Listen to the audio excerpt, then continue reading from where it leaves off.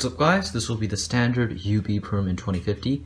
So it's not actually that weird and it's actually super fast, assuming you're not a hater and say something, if you get what I mean. But anyways, the execution goes like this, R2, U, S prime, U2, prime, S like that, or you can also push here, both work fine.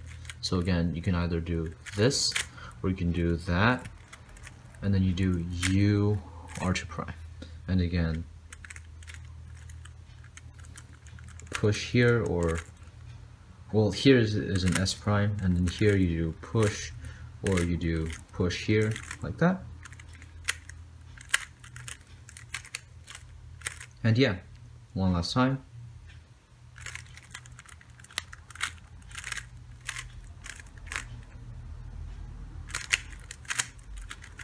Bumped my camera, whoops.